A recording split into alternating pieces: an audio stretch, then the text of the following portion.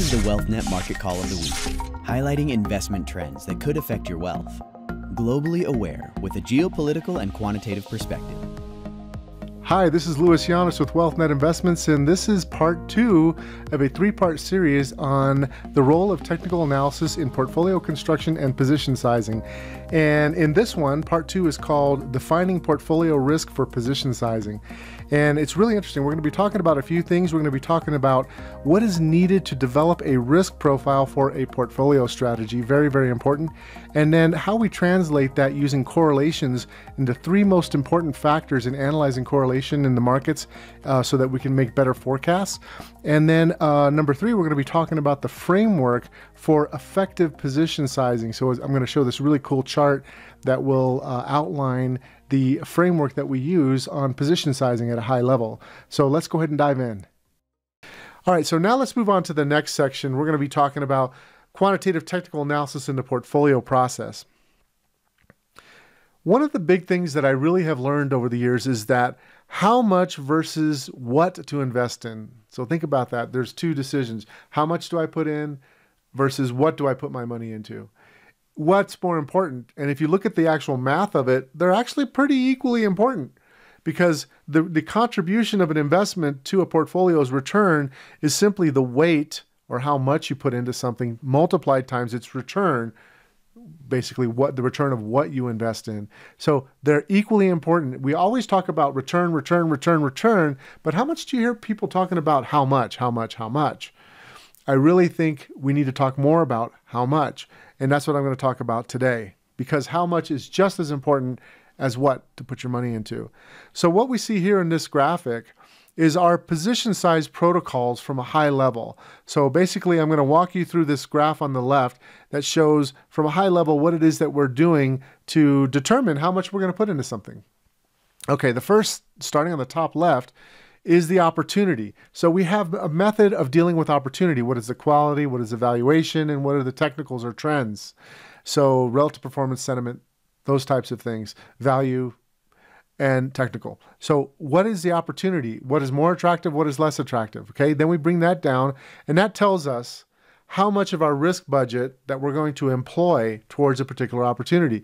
So if you have a high opportunity score or rating, then we're going to want to employ more of our risk budget that we have established. We have a total risk budget that we've established. We're going to put more in if we have a higher opportunity. And then we also have on the other side to the right there our risk assessment. So whatever our risk assessment tells us, that tells us what our risk budget's going to be. So basically something that has more risk that means we can put less capital into it for it to have the impact because we don't want to have any one thing have too much impact to hurt our results. So if you have a higher risk investment, it has a lower risk budget. If you have a lower risk investment, it has a higher risk budget, if that makes sense. Risk budget meaning percentage of capital that you can put employ into it. All right. So once we've looked at those two things, then we look at diversification effects. So so we have this return risk expectation, and then we look at what are the diversification effects of, of adding this to our portfolio, subtracting it from our portfolio. And then we get our target weights. And then we apply some constraints to it, and then we get our actual weights and our target weights, and we compare them. And when those uh, drift too much, then we have tra- uh, trading actions. So trading actions can happen for many different reasons, and I'm going to go over those, or I should say several reasons. I'm going to go over those reasons as well. But this is the high level of what I'm going to be talking about. So step one is to define your portfolio risk. And we want to start off with the universal portfolio goal, which is to maximize your return per unit of risk given your constraints like your time horizon, your liquidity, etc., and your income requirements because that is really what a rational investor would do. So we have to start off with that. We need that before we can actually define risk budgets at the individual instrument level or at the group level. So we start off with that. And what is needed to do that? We need a few things. The first thing we need is we need to know what our target is. Is it going to be a relative target, meaning is it relative to some index like the S&P 500 or um, some other kind of index, or is it uh, a target volatility number like uh, 12% volatility or 9% volatility? Or is it some maximum drawdown number? Like eh, we don't want to see a drawdown. We want to keep our drawdowns most of the time within minus 20% or minus 15%, something like that. So we need to know what that is. We also need to know our time frame of our strategy. So we need to know our time frame so that we can actually match our volatility and our sizing to the volatility over that time frame. We also need to know, know what universe of instruments that we're going to be using. Are we going to use stocks, bonds, commodities, currencies? We need to know that because that has a lot to do with the amount of diversification benefits that we can achieve. So we start off with defining it, and once we've done that, once we have that those three things that we talked about, then we need to know or we need to define what that total risk budget is, and that will be defined as the maximum downside risk the investor is willing to assume you know, that specific measure, whether it's maximum drawdown, standard deviation, whatever that is. And from there, then we can drop it down into risk units. And the risk units are the percentage of the total risk budget that we're going to allocate per opportunity. And we can define that at the group level and at the individual instrument level. Now, what this chart does is just show you what a maximum drawdown is because sometimes people don't know what maximum drawdown is. So I just thought I'd do a quick chart here to show what that is. This is the S&P 500 going back from 1997, and this only goes through 2015. I just want to illustrate a point. You know, you have these big peak to peak to trough falls, and that's what a drawdown is. It's, you know, from that peak that you see down to the draw drawdown to the lowest point. What is that peak to trough percentage change? And you can see that you know, in 2000 we saw a huge drop. Uh, in 2007, 2009 we saw a huge drop, and the recovery period is how long it takes for you to get back to even, and it could be a number of years. You know, 6.7 years. In 2000, 4.95 years. That's a really important thing to, to, to keep in mind. The longer the drawdown, the harder it is. Now, we're still defining our portfolio risk. We're still in, step one. And I want to point out this magic formula. It's the formula of expectation because this formula really defines the big levers that determine our position sizing. And those big levers are the percentage of time that we make a decision where we're right. So every time we make a decision, what percentage of those are likely to be right? And then what percentage are likely to be wrong? And then also, how much money are we going to make when we're right versus we're going to lose when we're wrong? Those numbers, when you put them together in this formula, percentage win times dollar win minus percentage loss times dollar loss, that gives us our expectation. Now, this formula applies to any investor, any trader. These are the magic formulas that really determine how well you're going to do. Now, the key is is to understand this formula. If you look at it, really, it's important that you really want to minimize the right-hand side of that equation. You know, the dollar, how much you lose, basically, and uh, how much you win is is also the inverse of that. So you really need to know how can I manage my risk. That's I keep pounding that in because managing risk is so important. And the really the question becomes is how accurate do I need to be, or do you need to be, to be a successful investor? The answer may actually um, surprise some people because it really depends on your style. There are many investors that do exceptionally well with lower percentage accuracies. They just manage their risk better and they try to really press the investment and make more when they're making money. Uh, and what this graph shows here is the really how much you need to win when you're right and how you can truncate your losses. So basically, it's the break even reward risk ratio. So the reward risk ratio is basically how much you make versus when you win versus when you lose, right? It's a ratio. So, what does that ratio need to be given certain percent accuracies? You know, how often you're right on a percent basis. For in order for you to break even. So, like, at what point do you break even? And the point here is that if you have a 50 50 chance of being right, that your reward risk ratio needs to be at least one for you to break even. And above that is all gravy, that's profit.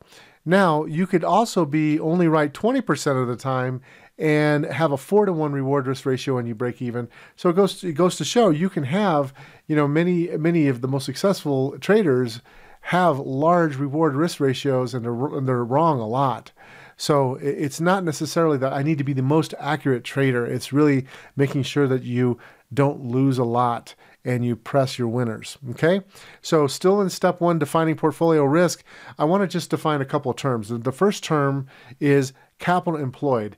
And what that is is that's you know in our world that is the percentage of your overall capital that you're investing that you put into investment opportunity. So that would be the dollars you put into an, an investment position divided by the total portfolio value. So that's just a percentage of dollars or currency, whatever currency you're trading, that you have in there. So that's one measure. The other measure is the capital at risk, which is the number that we tend to focus in on. The capital at risk is the percentage of your total capital that you are willing to lose in any given opportunity. It's a fraction of your capital employed unless you let it go to zero. So let me explain that a little bit. If you just decide to, that I'm going to put my money into this, if it goes to zero, fine. I'm going to let it go to zero. I'm just going to stick to it until the bitter end, and then then you would basically be losing 100% of your capital employed which would be equal to your capital at risk. So if you put 1% of your capital into something and you let it go to zero, you lose 1% of your capital. Now, if you only let it lose half of your, your capital employed, then you'll lose 0.5% of your total capital. So I hope that's making some sense. But we really want to de- differentiate between capital employed, how much cash or capital you're putting into it as a percent of your overall portfolio, versus how much you're willing to lose in each ind- individual opportunity. So what does that what does that really insinuate? It insinuates that you need to predefine your risk because you need to predefine your risk in order for you to have a, a, uh, a percentage of capital target that you're willing to risk. Okay?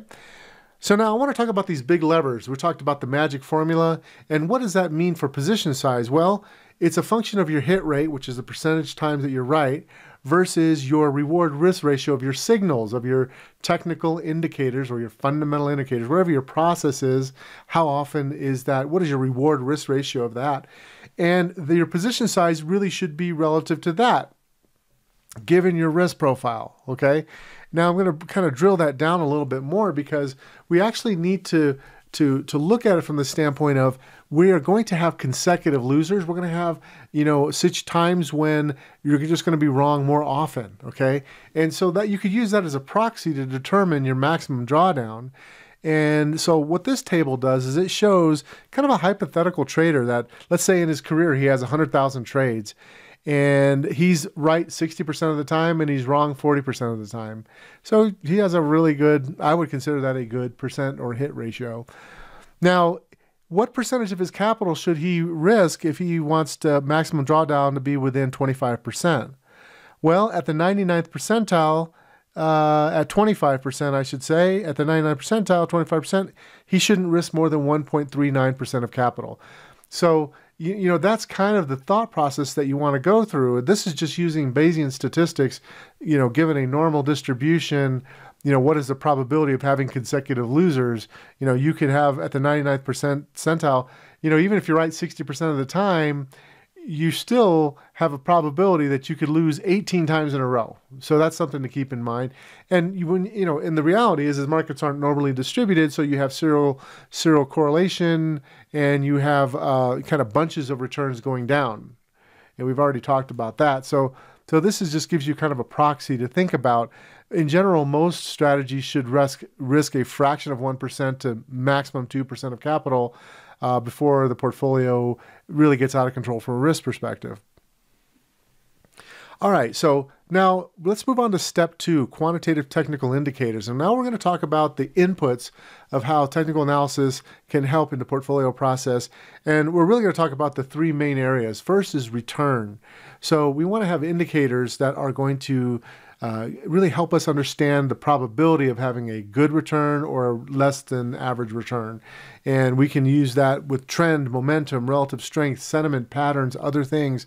So we have these types of patterns that we can look at and technical trends that we can look at to help with forecasting return. And then we also have uh, data sources that we use. Is it the primary technical data sources like price and volume, or is it like secondary data choices like uh, like open interest or like uh, uh option uh, premiums or polls, other non-price volume data sets?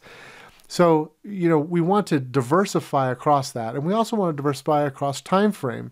So we have our return indicators that need to be diversified. And then we want to have indicators that help us with risk in terms of uh, looking at probabilities for downside volatility or changes in volatility, rising or falling, um, you know, overbought, oversold condition type in indicators. And, and lastly, we want to have diversification type indicators that look at intermarket relationships and correlation between uh, groups as well as re- regime changes, general stock market models, things like that. Technical analysis is uniquely uh, a discipline that is uniquely really positioned to help in all of these areas. So that's that's really what we should be doing as technicians. And the goal is to develop effective models that have low correlation factors or technical indicators, if you will, that we can add to our process, add to the fundamentals, add to the macro, and, and we can have them talk to each other. And that's really the key uh, uh, point that I have in this presentation. So again, just from a graphical perspective, you can see here the multi-factor technical models could be really viewed from having diversification among time frame, among data types, and among types of indicators, what we're measuring. And we want to have diversification, diversification across those to give us a more robust read on our, our three main inputs to our models for a portfolio, which is risk, return, and correlation. Okay, so now I want to go ahead and just summarize what we've talked about. We've talked about what is needed to develop a risk profile for a portfolio strategy, how we actually need a total risk budget looking at whatever metrics that make the most sense for us, and then how we can actually drill that down into risk budgets for our position sizing.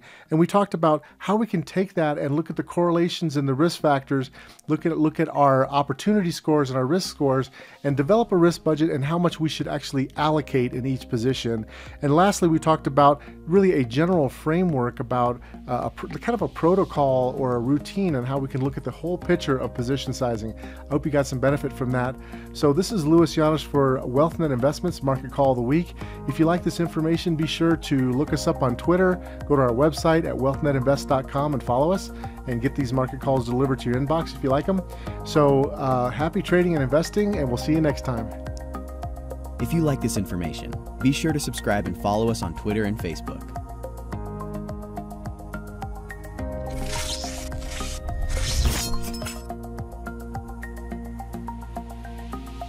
The market calls are designed for informational purposes and should not be considered investments advice. As always, do your homework, assess the risk, and invest in light of your personal goals.